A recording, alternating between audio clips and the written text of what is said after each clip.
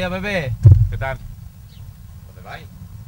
Estamos aquí haciendo los últimos minutillos de entreno antes del Ironman. ¿Pero un domingo a las 8 de la mañana? Lo que hay, hay que hacer un esfuerzo. Estamos bajando y... ¿Tú qué, Aníbal? ¿Cómo te ves? Bien, aquí lo que tú dices, ya bajando de entrenamiento y nada, hoy ha tocado a las 8 de la mañana, pero que no es el día que más temprano nos vamos a levantar. Que esto nos ha costado mucho esfuerzo, muchos días, muchos madrugones y nada. Hoy esperemos disfrutar un poco del entreno de hoy. ¿Pero qué pasa? ¿Ustedes cuando hacéis una prueba de esta no salís por las noches a, a- a estar con los amigos y demás? Hombre, ha- hay días que no nos privamos de ciertas fiestas y cuando, cuando surgen, pero bueno, normalmente nos cuidamos bastante, porque es lo que nos gusta y es, lo, es nuestra pasión, entonces todo, todo, que, todo lo que se hace con, con ilusión y motivación, pues, pues se hace fácil. Hombre, la verdad es que cuando me dijeron un Ironman, yo hasta hace poco no sabía lo que es un Ironman. Y cuando me planteé el hacer un Ironman, yo no me esperaba que iban a hacer tantas horas solo, tantas horas que me quitaba de mi casa, de mis amigos, porque la verdad es que es mucho esfuerzo, no solamente el día del Ironman. y No, día, hoy va a ser un disfrute, ¿verdad? Pero ha habido días que esto nos ha costado 6, 7 horas de entrenamiento solo que algún día algún compañero te ayude, pero que la verdad es que ha sido duro, ¿eh? Ha sido duro y muchos entrenos en solo. No, el tiempo este año no ha acompañado, pero bueno, ya hemos llegado al final y ya tenemos que rematarlo. Se hace bastante duro porque ya como, como dije antes, un- lo- nos lo tomamos con un reto y tenemos que sacar la motivación de, de, vamos, si cuando no tenemos motivación, pues nada, entre, entre nosotros nos apoyamos, hemos estado siempre intentando entrenar, aunque yo esté trabajando en Sevilla, pues venía el fin de semana y entrenábamos juntos, siempre intentando apoyarnos uno a otro y sobre todo, como ellos no es la primera vez que hacen un Ironman, pues bueno, yo con mi experiencia pues he intentado transmitirle un poco cómo es eh, un Ironman y todo lo que eso conlleva. Pero bueno, eh, la verdad es que eh, estamos contentos porque bueno, ya queda una semanita y, nada, a ver qué tal sale la cosa. Bueno, pues yo estaba aquí haciendo un reportaje sobre el mar, que, que tenemos una competición de pesca próximamente aquí y, os veo por aquí entrenando tan tempranito. Digo, ¿dónde van los dos locos estos a entrenar un domingo por la mañana? Pero claro, ya después caigo que, que ustedes os vaya a preparar para la, la Ironman de Niza. Yo no voy a decir la, la, las distancias porque no me las sé concretamente y yo creo que sería mejor que la dijera ustedes. Lo que sí he visto, como ve cualquier aficionado al deporte, son las durezas, las distintas durezas y las peculiaridades que tiene cada, cada prueba, ¿no? Entonces, eh, yo sé cómo es la de Lanzarote, la he visto, sé cómo es la de Rob, pero yo no sé cómo es la de Niza. Eh, eh, ustedes que os la habéis ya estudiado, ¿no? Porque supongo que esto también ah, recabaréis un poquito de, de estudio. ¿Cómo es la, la Ironman de Niza? Bueno, el Ironman de Niza es un Ironman que está catalogado como uno de los más duros. Bueno, sin duda mm, los entendidos dicen que Lanzarote es el Ironman más duro del mundo, pero Niza eh, no se queda corto. Es un Ironman en el cual la bicicleta, los 180 kilómetros de bicicleta, se caracteriza por ir total- eh, constantemente subiendo. ¿vale? No son puertos duros, sino son puertos tendidos en el que está siempre está tendiendo a subir. Puertos de media, de, hay un puerto de 21 kilómetros, de media de 6-7%.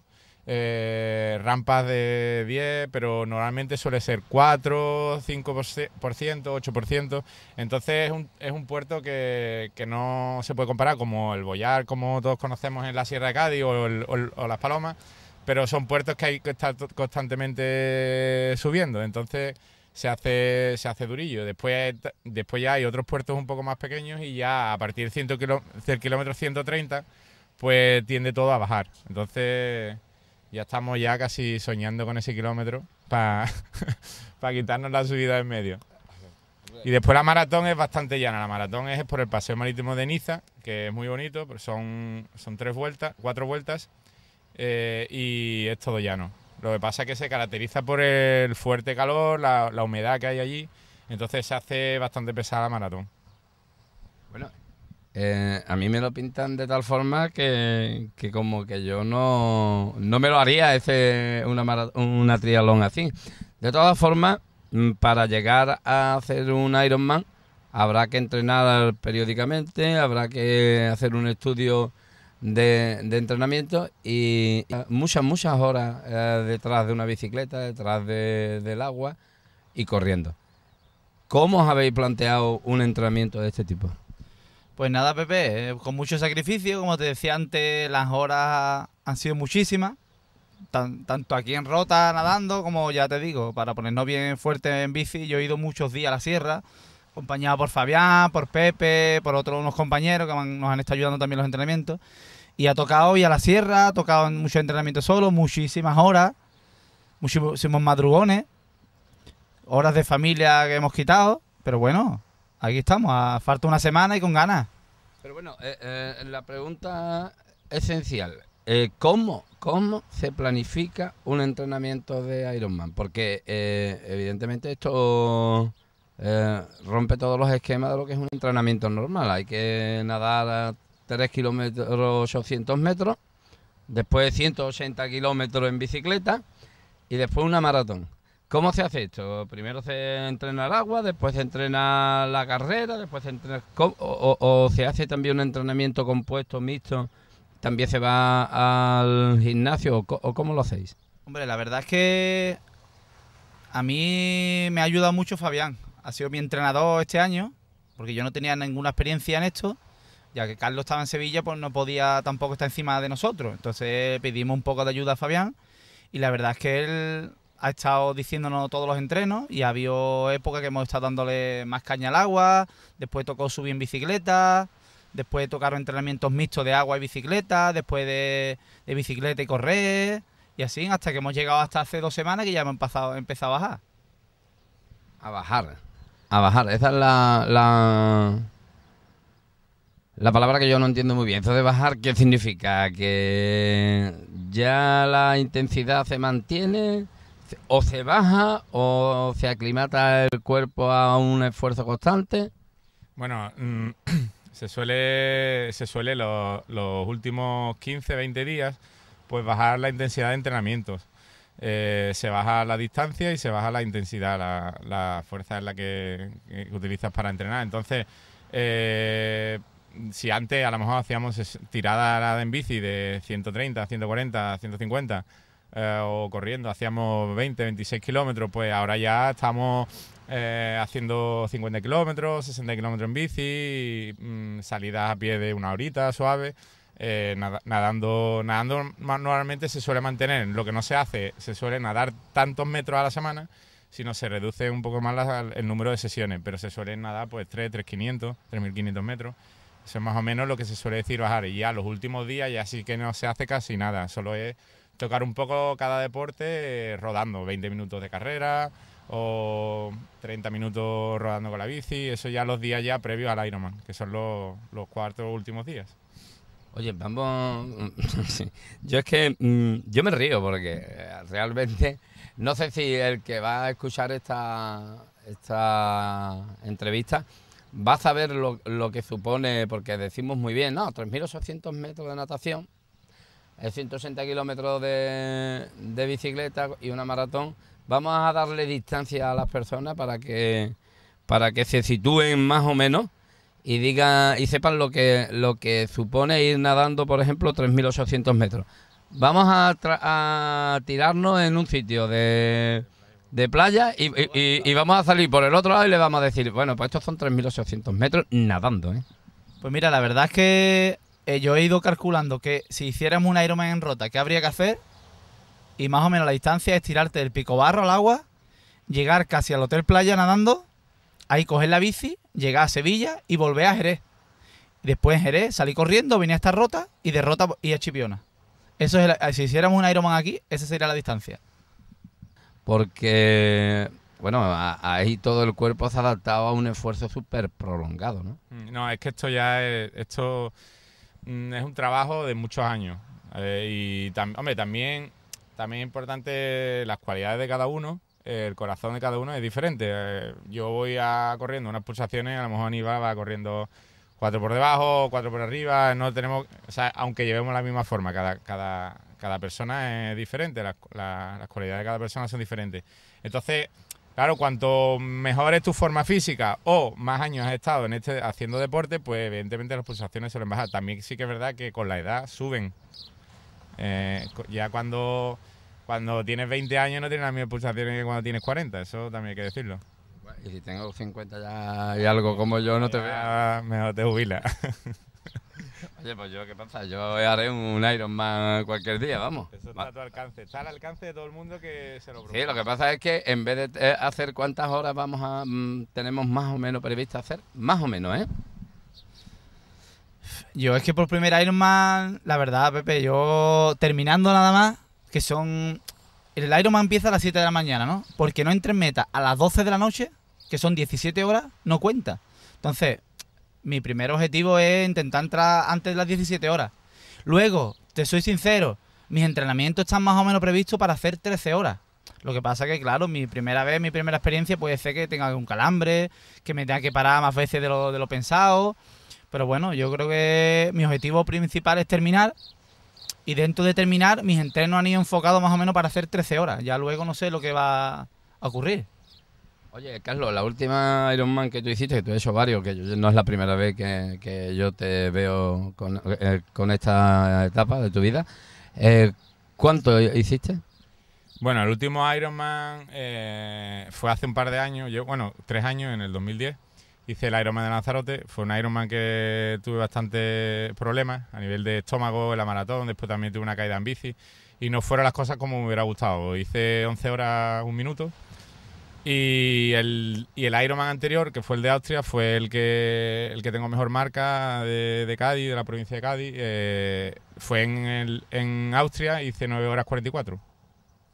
Bueno, muy lejos de las 13 horas del muchacho. ¿eh? Bueno, pero yo, yo siempre le he dicho a Aníbal que, que no se marque un- una marca que pueda ser algo insuperable, sino que, que tenga pies en la tierra y que diga, mira, voy a acabar, voy a ver cómo es esta experiencia y lo que es y a mí me gustaría que cuando acabara dijera, ¿cuándo voy a hacer el próximo? Y no diga, ya, ya no hago más Ironman en mi vida. Entonces, si, si consigo que él diga eso es cuando yo creo que él va que él va a hacer una buena prueba.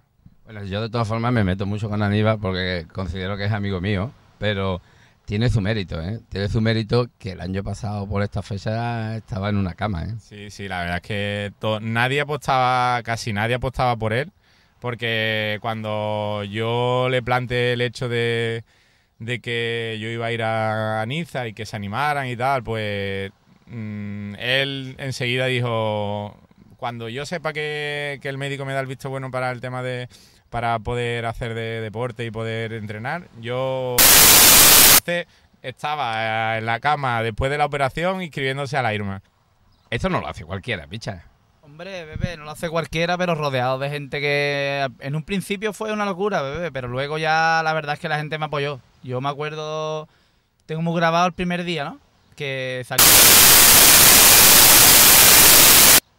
Y nada, a, un- a los días llegué, la verdad, al gimnasio de mi amigo Rubén, me vio el padre y me dijo, ¿te quiere poner bien? Fue así, ¿eh? Iba yo en la silla de ruedas, digo, sí, Manolo.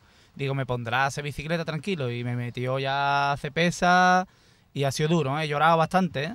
me ha dolido la pierna, pero en fin, ya lo tengo todo olvidado. Y nada, eso yo creo que me hará más fuerte en la carrera, seguro que me vendrá tantas horas, me vendrá a la cabeza todo lo que he pasado, toda la gente que me ha estado apoyando, y nada, a darlo todo, Pepe. Claro, por eso le dicen Iron Man, evidentemente, hombre de hierro. Si no, no, no se terminaría una prueba así, evidentemente. Eh, ¿Cómo se plantea una, una prueba como la Iron Man, eh, Carlos? Hombre, es que es un deporte bastante complejo porque son tres deportes en uno, entonces tenemos que compaginar y alternar los tres deportes, la natación. Eh, la natación es, yo creo que, bueno, en el Ironman es un mero trámite porque como, como todo el mundo sabe, bueno, si no lo sabe, la natación cuando se empieza es, un de- es el deporte que lo que hace es separar a la gente, ¿no? Porque si empezáramos con la bicicleta, ¿dónde metes tú a 2.500 bicicletas que hay en Niza? Eh, empezar eh, como con dar la salida a 2.500 bicicletas. Un- Entonces, 2.500 participantes. 2.500 parti- do- de 2.500 a 3.000 participantes hay. Entonces lo que hace la natación es separar a la gente, ¿no? Durante 3.800, una hora, hora y cuarto, hora y veinte. Lo que hace es separar a la gente, entonces ya está todo el mundo, todo el mundo ya en su sitio y ya coge la bici. Entonces la natación es un mero trámite porque yo pienso que las distancias no están compensadas, ¿no? Ya que la bicicleta, pues la bicicleta ya sí que es un poquito más complejo porque tenemos que, independientemente del recorrido, ¿no? Si es llano, si es, si es con subida, si es de puerto de montaña. Entonces, la- en la bicicleta siempre tienes que ir con, con, todo, con todos los deberes hechos, como yo suelo decir, porque tienes que tener la alimentación bastante controlada, tienes que ha- has tenido que los- los- durante los dos, tres últimos meses pues estar probando todo lo que vas a tomar en carrera, entonces ya sea geles, eh, ya sea barritas, eh, ya sea bebidas de sales o pastillas de potasio para los calambres.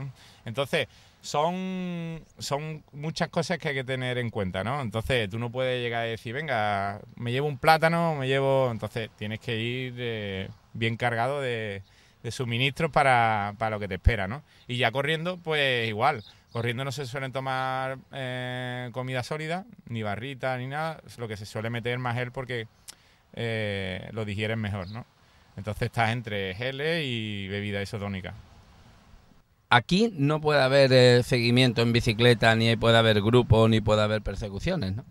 No, la verdad es que la bici es lo que tiene. Así que esto es una prueba que realmente el Ironman es una prueba que haces tú contra tú mismo. Ahí no te ayuda nadie ni tú puedes ir nada. Tú en la bici tienes que salir y yo creo que si no me equivoco, creo que hay que llevar de 7 a 10 metros ¿no? de separación. 7 metros es lo más que te puede acercar adelante. Si quieres adelantarlo, te tienes que echar a la izquierda, separarte de él y sacarle 7 metros. O sea que no puedes ir haciendo drafting, que es lo que se llama esto en esto de las bicis. No se puede ir a rebufo, Pepe, como diríamos las motos. Bueno, vamos a ir a lo que es el entrenamiento. Hoy, eh, que ya vais bajando, haríais un poquito de, de lo que es eh, eh, natación, eh, bicicleta y carrera, o, qué es lo que vais a hacer hoy. Bueno, hoy teníamos pensado nadar un ratito, media horita, y ya después coger la bici hora y media y, y rodar una horita suave a pie. Ese es más o menos... Ya vamos bajando, o sea, ba- bastante. Eso para otras personas sería mucho. Sí, lo que para algunas personas sería algo bastante, pero claro, date cuenta que llevamos seis meses entrenando y, y entonces ya lo que te- para nosotros eso es bajar. Vale, ahora vamos a- a- a- aquí con mi amigo, con la, con la furgona Ironman. Porque yo veo por ahí por rota una, una, una gran furgoneta Mercedes muy bien preparada, ¿no? Con una pegatina en el capó pre- preciosa de Ironman. ¿Esa es la que te va a llevar Niza? Esa es la que nos vamos a llevar, Pepe. Y también nos vamos a llevar un viaje entre amigos. Porque esto, sí, vamos a hacer un Ironman, pero no quita de que nos vamos de viaje. Cinco amigos, que somos los que vamos a participar, que somos Rubén, Carlos y yo. Y aparte vienen también, que es súper importante, que nos acompaña Dani Laine y Álvaro Vigo, ¿sabes? Que dentro de lo que es el Ironman entra la furgoneta, entra el viaje que vamos a hacer todos juntos, la convivencia. Y en fin, la verdad es que sí, que con mucha ilusión hemos preparado la furgoneta y nada, vamos a hacer lo que podamos. Bueno, esto me, me suena a una experiencia casi mística, macho. Ir en una furgoneta hasta allí, hasta Austria, ahí todos juntos. Eh, lo vaya, una aventura, ¿eh? Sí, porque normalmente los viajes, los viajes a un Ironman se suele hacer en avión, ¿no? Eh, porque desgraciadamente en España solo tenemos el Ironman de Lanzarote, ¿no? Y no tenemos más Ironman. Bueno, a Lanzarote evidentemente tenemos que ir en avión, pero si tuviéramos más Ironman cerca en España, pues iríamos en coche, ¿no? Pero normalmente se suelen, se suelen ir en, avión y, y todo planificado y tal, pero esto va a ser toda una aventura porque cuando me lo dijo, vamos, en principio teníamos nosotros la idea de, de ir en caravana, ¿no? En una autocaravana. Y, y ya habíamos mirado todo, pero claro, ya después cuando Rubén, eh, Aníbal se compró la, la furgoneta, pues, pues entonces ya se decidió y, y si lo piensas bien, una aventura. ¿Cuánto os cuesta? No el inscribirte en el Ironman, sino todo lo que ha conllevado un Ironman. La verdad, yo he calculado entre la inscripción, lo que nos va a salir el viaje y todo, al final es mucho más barato de lo que pensaba, porque de la manera que lo vamos a hacer, yo creo que con 800, 900 euros en total, como mucho, vamos a hacer el Ironman. Si tú le dices a, a la gente que nos ve lo que nos cuesta competir en esta locura, se puede echar las manos a la cabeza. Tenemos que soltar 500 euros, nada más que por competir. Entonces, y, y bueno, y la verdad es que dice, sí, eso, eso a lo mejor tiene varios meses para meter. No, no, es que acaba la prueba y al día siguiente se abre el plazo y en horas se acaba el plazo, se cierra el plazo por internet. Es una locura. ¿no? O sea, que es que hay, ta- hay tanta pasión y tanta afición en ya no solo en España, en Europa y a nivel mundial eh, con este deporte que, que es alucinante. Es que tienes que. Y, de- y todo eso conlleva, pues también todo lo que te puede pasar en un año, ¿no? Porque. Porque te puedes lesionar, te puedes caer enfermo, te puede pasar cualquier cosa y pierdes la inscripción, total. Bueno, hay diferentes plazos de, de evolución, pero ya tres meses antes ya no te devuelven nada. Entonces hay varios plazos, de un 50, el- lo máximo que te devuelve es un 50%. Pero, o- oye, cuando vayáis a llevar la bicicleta al, co- al coche, ¿cómo la vais a situar? En las primeras paradas, ¿cómo estaréis allí en, en el Ironman? Es que eso va a ser una experiencia para todos. Eso va a ser un, un regalo que ustedes tres o ustedes cinco le vais a dar al pueblo de Rota. Esto es un regalo. Porque yo estoy deseando ver ese reportaje, macho. La verdad es que sí, además que, por ejemplo, Rubén es que no ha podido venir hoy, tenía que hacer cosas, pero Rubén, por ejemplo, lleva una cámara que la llevará, creo que incorporar a la bicicleta, o sea que yo creo que vamos a traer bastantes imágenes chulas. Y nada, yo de aquí, ahora que lo tengo delante, desearle suerte. Espero que este hombre, aunque vamos a decir que es una locura, pero él es uno de los que tiene posibilidad de hacer esa locura, que es clasificarse para Hawái, tendrá casi un pedazo de tiempo, pero yo espero que lo haga. Y nada, y también suerte a mi compañero Rubén, que no ha podido estar aquí, pero que estoy seguro que terminará el Ironman y los tres nos abrazaremos con los otros dos que nos acompañan y será un éxito seguro, vamos. No, la verdad es que es mi ilusión, ¿no? Y llevo bastantes años ya luchando por estar allí. He estado muy cerca, he estado en el Ironman de Brasil, me quedé en las puertas, también en Austria también estuve cerca. Pero claro, cada vez se hace más difícil el tema porque cada vez hay más competitividad, hay más, hay más triatletas no, no profesionales que son amateur y que se dedican casi, tienen la misma dedicación que un profesional, porque ya sea bombero, ya sean trabajos que, que tienen mucho tiempo para entrenar, entonces hay muchos tapadillos, ¿no? Profesionales de que van de tapadillo, eh, amateur que van de tapadillo. Entonces es complicado y sobre todo este año no he tenido mucha suerte con los entrenos, ha sido un año con muchos contratiempos eh, a nivel de salud, de trabajo, en fin. Y bueno, yo voy a poner mi ilusión, no estoy al 100%, no llego al 100%, pero bueno, se intentará. eh, voy sin presión porque, ya te digo, no ha sido un año bueno y no, y no tengo, no tengo muchas perspectivas de, de hacer un buen tiempo, pero bueno, igual me sorprendo, igual, en fin, a lo que, a lo que salga. La verdad es que para estar en Hawái, para clasificarte en Hawái, Niza, tienes que estar rondando las 9 horas 40. Que sí, pero es un circuito un poquito más duro y también no estoy al 100%. Pero bueno, Nada, nada. Aquí le vamos a dar fuerza a todos los roteños y vamos a conseguir que no, que se clasifique para Hawái.